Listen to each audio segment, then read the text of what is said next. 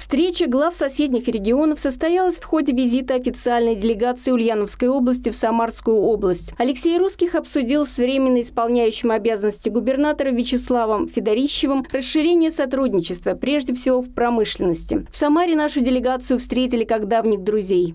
Для нас большая честь сегодня принимать делегацию Ульяновской области.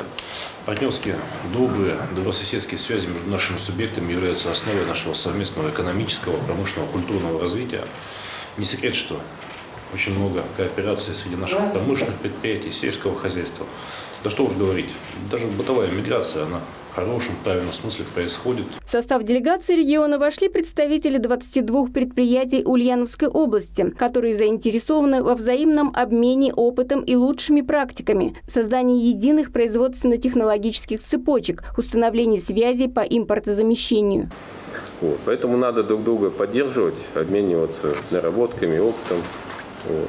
И тем самым э, переходить уже к технологическому суверенитету государства не на словах, а на деле. Ульяновская делегация ознакомилась с производственным процессом самарских предприятий ОДК «Кузнецов» и «Авиаагрегат», которые уже сотрудничают с ульяновскими заводами «Авиастар», «Промтех», «Халтек». По итогам переговоров возникла заинтересованность в кооперации с «Глянс Техник», «Легата», «Автогазстрой», «Торсион-Д» и «ПК Промо Консалтинг». В дальнейшем планируется расширять кооперацию в автомобиле и авиастанкостроении и других отраслях. Как отметил Алексей Алексей Русских в Ульяновской области есть успешные примеры кооперации. Представители нашего автокомпонентного кластера у нас более 200 предприятий, которые выпускают узлы, комплектующие для автомобилей, отгружают свою продукцию на АвтоВАЗ.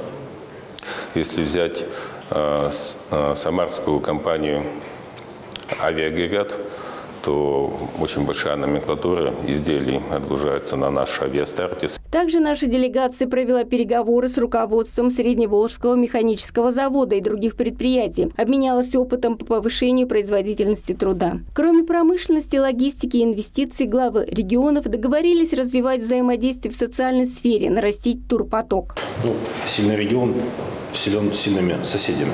У нас в семье Приволжского федерального округа очень сильные регионы. И очень рад, что кооперация и взаимодействие, и сотрудничество с Ульяновской областью всегда в Самаре было очень сильно. Мы обсудили логистику.